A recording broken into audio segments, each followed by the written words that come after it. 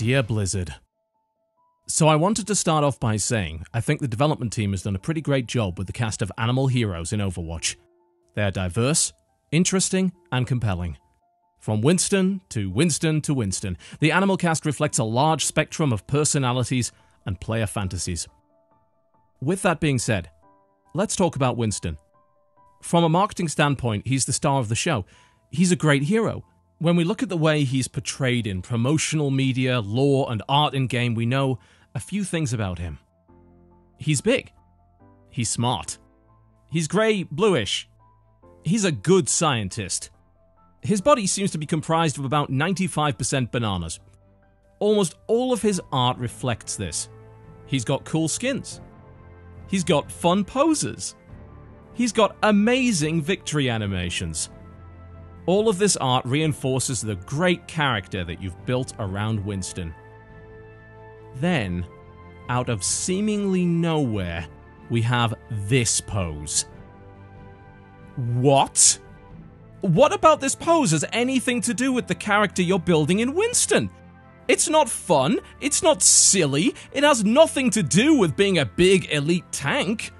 It just reduces Winston to another bland animal sex symbol. Look at him. He's presenting himself, thrusting his unrealistically huge pectorals at the camera, flexing his gigantic, rippling, sensual biceps, with no regard to who might be watching. His lips might say no, but his glowing yellow lightning eyes say yes, yes, yes!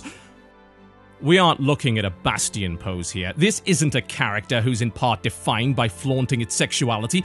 This pose says to the player base, oh, we've got all these cool, diverse characters, but at any moment we're willing to reduce them to sex symbols to help boost our investment game.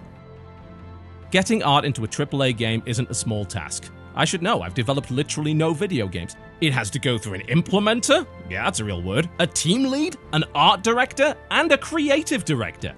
This is a team effort, and I believe the team is responsible for upholding the great example Overwatch can set to the rest of the industry for creating strong animal characters. I have a young German Shepherd that every day when I wake up wants to watch the Recall trailer again.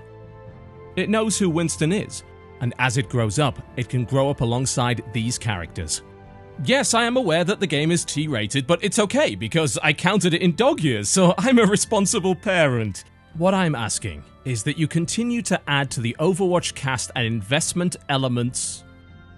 What? You double down on your commitment to create strong animal characters.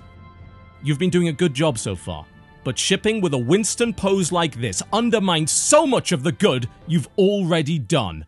Now my German Shepherd is irrevocably tainted. You know what's gonna have to happen, don't you? This is your fault. You did this.